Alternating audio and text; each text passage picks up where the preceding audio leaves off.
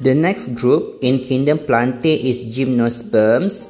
So state unique characteristic of gymnosperms, for example, Pinus species. So similar to pteridophytes, Pinus pun vascular plants but with naked seed. So differences between gymnosperm and pteridophytes tadi adalah gymnosperm sudah ada seed. Pteridophytes tak ada seed. The seed in gymnosperm is called naked seed. So kenapa kita panggil sebagai naked seed nanti kita tengok. So in terms of vascular tissue, the xylem only have trachea. So ingat sebelum ni xylem tissue ada dua, sama ada trachea ataupun vessel element. For gymnosperm, dia cuma ada tissue xylem trachea saja. Dia tak ada tissue vessel element. Tak ada.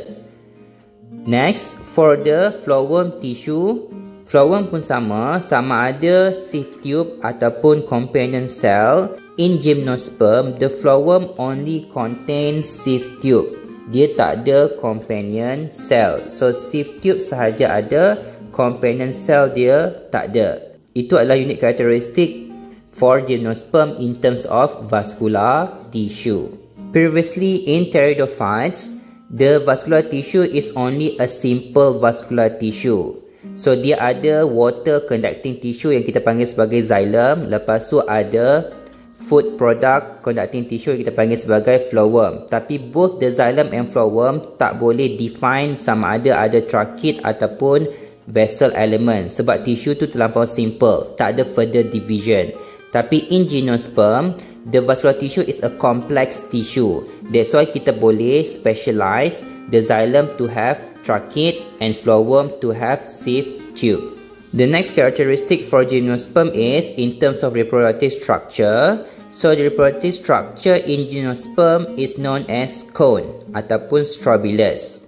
Ingat, gymnosperm adalah non-flowering plant, plant yang tidak boleh produce flower. Tapi dia ada satu struktur lain kita panggil sebagai cone ataupun strobilus. So cone or strobilus ada dua jenis. Sama ada male cone ataupun female cone. So male cone nama lain dia adalah staminate cone ataupun microstrobilus that will produce microspores iaitu pollen grain. For the female nama lain dia adalah ovulate cone ataupun megastrobilus that will produce megaspores. So the megaspore will develop inside ovule tetapi ovule tersebut tak ada ovary. The ovule is not stored inside ovary. So since there is no ovary, that's why the seed is called naked seed. Sebab seed itu memang terdedah. Dia tidak di-enclose, disimpan di dalam another structure yang kita panggil sebagai ovary tak ada. So, itulah reason kenapa gymnosperm, the seed is called naked seed. The megaspore inside the ovule will develop into egg, which is the female gametes. Pollen grain tadi akan produce sperm, which is the male gametes. So, kat sini kita nampak, since ada dua cone yang akan produce separate type of spore, microspore dekat male, megaspore dekat female, So technically gymnosperm are all heterosporous. Tak ada yang homosporous. Next, unique to gymnosperm, the leaves is needle-like. Nampak macam jarum saja, dia tak lebar. And on the surface of the needle-like leaves, they are very thick cuticle. Ada layer cuticle yang hydrophobic yang sangat tebal. Sama juga to prevent water loss. So dalam gambar ni kita nampak yang the first one, so this is the male cone. The second one is the female cone. So female cone ni yang awak biasa nampak. Basically hiasan dekat pokok Christmas tu. So itu adalah female cone. So Christmas tree is a species of organism that belongs to group Gymnosperms. Since there is no flowers, So in terms of pollinating agent, gymnosperms can be only pollinated by abiotic factors such as by winds or water. In addition, the seed of gymnosperm is without endosperms. So dia tak produce triploid endosperms. So untuk gymnosperm, there is no double fertilization. So kalau tak ada double fertilization, tak adalah triploid endosperms. So kat sini kita nampak the female strobilus ataupun ovulate cone of Pinus. So dekat dia punya reproductive structure ni akan ada scale. Kenapa kita panggil dia scale? Sebab dia adalah keras, woody scale. So woody scale ni sebenarnya datang daripada struktur yang asalnya kita panggil sebagai sporophyll. So sporophyll tu adalah modified leaves that contain spore. So in this case it contain megaspore. So the megaspore is stored inside ovule. So kita nampak kat sini the ovule is not in an ovary. So kalau ovule tu tak ada dalam ovary, that's why dia akan form naked seed. So another unique characteristic of gymnosperm is the sporophyte generation is the dominant generation than the gametophyte generation. So ni very similar to the pteridophytes iaitu sporophyte yang dominant, gametophyte yang dependent. Sebab sporophyte tu yang besar dan longer lifespan, gametophyte tu yang lebih kecil ataupun shorter lifespan. Gametophyte generation is very much reduced and dependent on the sporophyte generation for nutrition. The male gametophyte dipanggil sebagai pollen grain. The female gametophyte dipanggil sebagai female gametophyte. Dia tak ada specific name. Kita just panggil dia sebagai female gametophyte untuk gymnosperm. So kat sini kita nampak the structure of the female gametophyte yang berada di dalam ovule. So this is the ovule. So ni adalah view of the male and female cone under microscope. So for staminate cone ataupun male cone, dia pun ada sporophyll tapi kita panggil sebagai microsporophyll sebab dia produce microspore. So microspore will eventually form pollen grain iaitu male gametophyte. Untuk ovulate cone ataupun the female cone, so dekat dia punya mega sporophyll sebab dia akan produce mega spore. So the mega spore can be found inside the ovules. So the mega spore will develop into the female gametophyte. The female gametophyte will produce egg. Okay, the last group in kingdom Plantae is angiosperm. For example, Hibiscus rosa sinensis.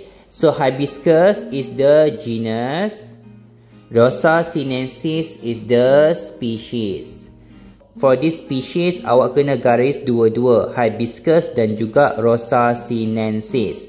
Kalau tadi kita just letak SP, SP tu adalah singkatan kepada perkataan species. Sebab kita tak nak spesifik species apa. For angiosperm, ada satu saja hibiscus genus And then Rosa sinensis is the only species. So awak kena sebutlah species dia iaitu Rosa sinensis. Okay, so kena ada dash eh sebab Rosa sinensis tu satu nama yang sama. Sebab tu satu garisan yang sama. Angiosperms are flowering plants. So the reproductive organ is the flower. So the organ will contain male parts, stamen ataupun female part iaitu pistil. So ni kita belajar dalam sem lepas, chapter reproduction. So the female parts, the pistil or the carpel ada stigma style ovary. The male parts iaitu stamen ada anther dan juga filament. So anther yang akan produce male gametophyte iaitu pollen grain. The ovary yang akan contain the female gametophyte iaitu embryo sac can be found inside the ovule. Next, In terms of vascular tissue, angiosperm have the most complex arrangement of vascular tissue iaitu xylem dia ada both trachea and vessel element and the phloem contain sieve tube and companion cell. Next, the sporophyte generation is the dominant generation compared to the gametophyte generation. So ni sama je macam pteridophytes dan juga gymnosperm. Gametophyte generation is reduced and dependent on sporophyte generation for nutrition. So in terms of this particular characteristic, angiosperm is very similar to the gymnosperm. The male gametophyte is pollen grain, the female gametophyte is embryo sac. So embryossac adalah female gametophyte in angiosperm sebab embryossac yang akan produce egg. Okay, so special for angiosperm, they undergo double fertilization. So ingat lagi chapter production ada proses double fertilization. So because of the double fertilization, the developing embryo can be found in a tissue known as endosperm, iaitu triploid endosperm. Function as energy storage ataupun food storage for the embryo. So both of this is found inside the seed. So seed tu datang daripada ovule, fruits pula datang daripada ovary. So asalkan awak nampak dia ada fruit maksudnya itu adalah plant yang daripada angiosperm. So since the seed is enclosed in ovary, so seed itu bukan naked seed. Gymnosperm sahaja yang ada naked seed. The pollinating agent for angiosperm can be by biotic and abiotic factors. For example, by animals, insects, so itu biotic factor. Wind ataupun water so itu adalah abiotic factor. Kenapa boleh biotic factor untuk angiosperm sebab the female reproductive structure ada stigma and ingat lagi stigma tu produce nectar iaitu sugary material to attract insect untuk datang. So insect tu akan indirectly spread the pollen from flower to another flower. Kalau cone dekat gymnosperm dia tak produce benda ni. So dia tak akan attract insect untuk pollination the last subtopic for kingdom plantae is to describe the evolutionary relationship in kingdom plantae starting from bryophytes up to angiosperm. So basically awak kena boleh describe apakah perkaitan karakteristik yang kita jumpa dalam bryophytes sampailah ke group angiosperms. So first, from gametophyte generation that is dominant in bryophytes to sporophyte generation that is dominant for the rest of the group. Maksudnya starting from bryophytes tadi kita nampak dominant generation tu mula dengan gametophyte dahulu. Tapi sampai ke angiosperm dia dah berubah. Sporophyte tu yang dominant, gametophyte tu yang dependent. So next point, from gametophyte dependent sporophyte in bryophytes to independent sporophyte in the rest of the group. Maksudnya siapa bergantung kepada siapa for nutrition. Kalau bryophyte tadi, sporophyte tu yang dependent on the gametophyte tapi the rest of the group sampai ke angiosperm gametophyte tu yang dependent kepada sporophyte untuk nutrition dan juga untuk water.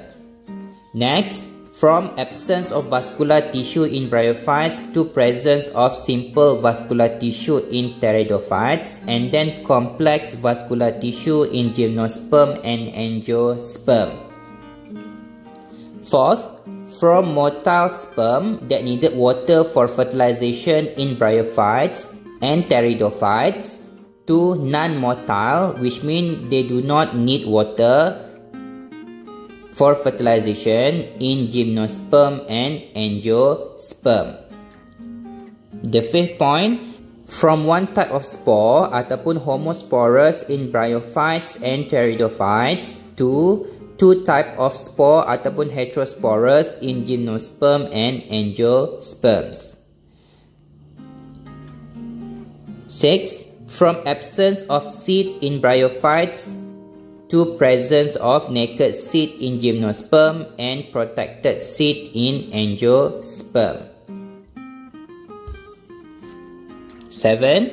From free living gametophytes in bryophytes and pteridophytes to protected gametophyte within sporophyte in gymnosperm and angiosperms.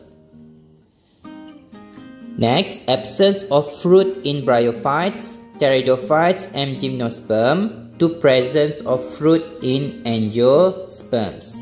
Better adaptation to live on land from bryophytes to gymnosperms. So ni point number 9 ni lebih kepada comparison between group algae bila kita compare dengan kingdom plantae. Next, from smaller size sporophyte in bryophyte to bigger size sporophyte in angiosperm. From non-photosynthetic sporophyte in bryophytes to photosynthetic sporophyte in angiosperm. And then lastly, from thallus ataupun absence of true leaf, stem and roots in bryophyte to presence of true leaf stems and roots in the rest of the group. So these are the evolutionary relationship in kingdom Plantae starting from group bryophytes up to group angiosperms.